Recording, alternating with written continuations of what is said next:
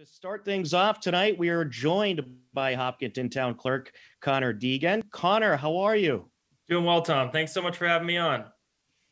Thanks for coming on. Uh, so there's quite a big election coming up, and early voting is starting soon.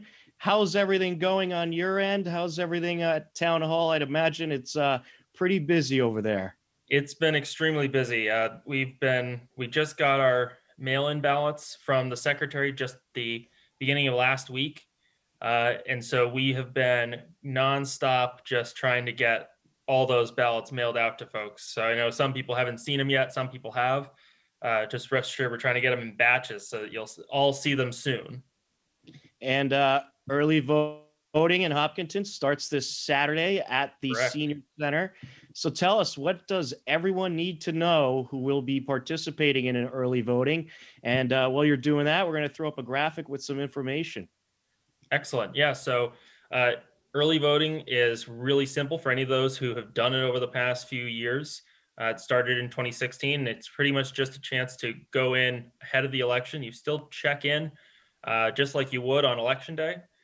And the only difference being that you seal your ballot in a signed envelope so that then it can be stored securely until election day.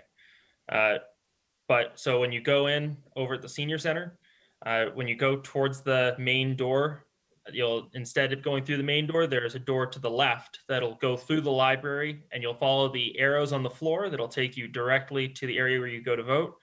Uh, mask wearing will be required as well as social distancing. The markers on the floor are all six feet apart so that you don't have to try to guess it. And once you get in, there will be plexiglass between you and the election staff. You'll give them your name, your address, and then they'll be able to give you basic instructions and you'll deposit your vote securely into the drop box. Uh, however, if you are looking to drop off a ballot by mail, then you'll want to go ahead and bring that to the drop box at the front door of town hall instead. That's terrific. So uh, you mentioned the safety procedures such as uh, wearing a mask and things like that. I'd imagine uh, the health director will be involved in some safety procedures too. So fortunately, we got to have a slightly drier run of this for the September primary, where we had it over at the senior center as well. So we were able to run through the procedures with the help of our health director, Sean McAuliffe, as well as a lot of assistance from our deputy fire chief, uh, William Miller.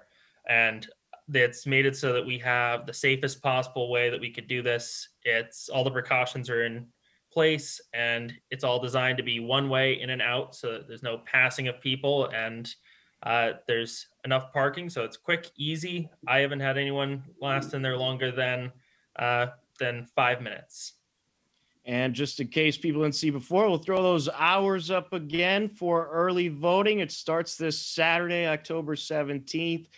And at the hours on Saturdays and Sundays will be 10 a.m. to 2 p.m. Monday, Wednesday, and Thursday, 8 a.m. to 4:30 p.m. Tuesdays, 8 a.m. to 7 p.m.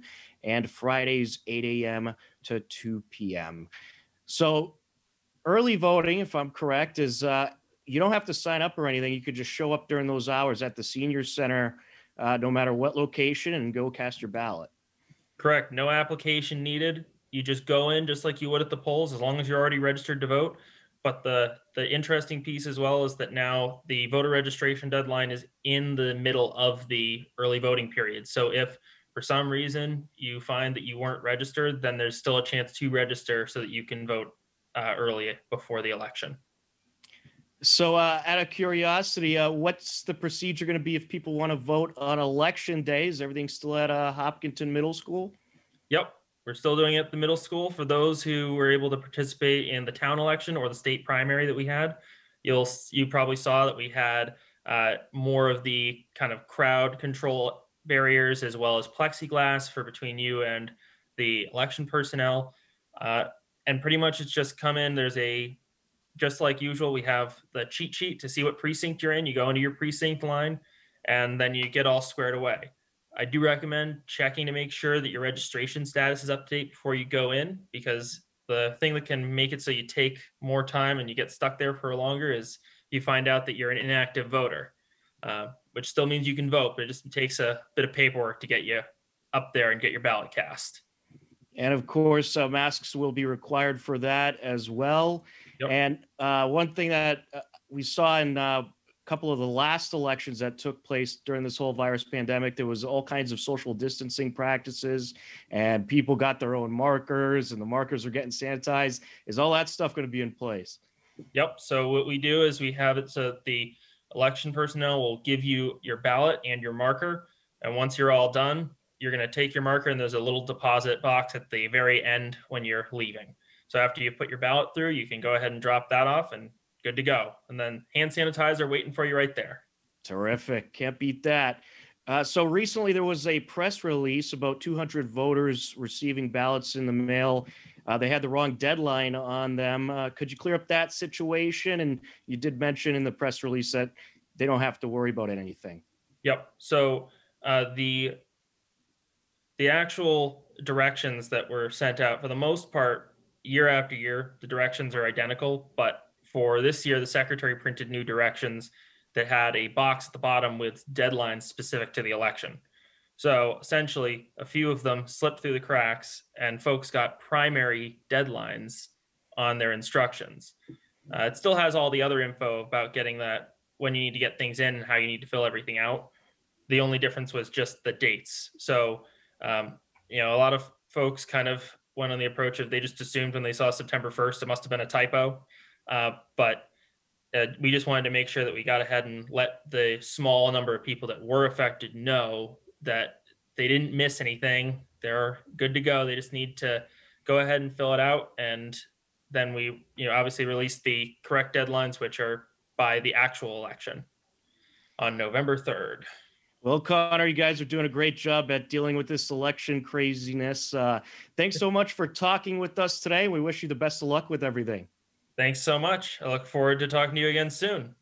Absolutely.